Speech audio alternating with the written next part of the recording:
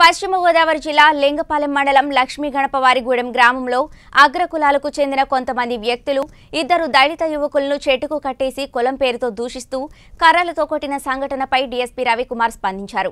దీనిపై ప్రత్యేక బృందాన్ని ఏర్పాటు చేసి నిందితులను ముగ్గురిని అదుపులోకి తీసుకున్నామని మిగతా వారు హైదరాబాద్కు పరారయ్యారని తెలిపారు.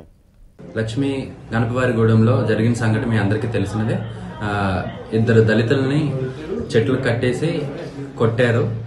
కొందరు నాన్ ఎస్సీ మెంబర్స్ అండ్ దానికి కానీ ఎస్పీ గారి ఇన్స్ట్రక్షన్స్ మీద నన్ను ఇన్- ఇన్వెస్టిగేషన్ ఆఫీసర్గా పెట్టడం జరిగింది సో దీంట్లో మేము ఒక కొందరు కొట్టిన వాళ్ళు uh, ఇప్పటికి మాకు తెలిసిన సమాచారం బట్టి కొందరు హైదరాబాద్ కూడా పారిపోయారు.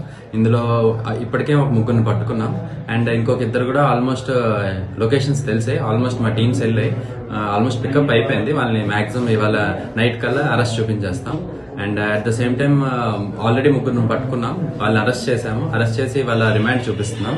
And as soon as possible దళితులకి న్యాయం జరిగేలాగా చూస్తామనేసి మేము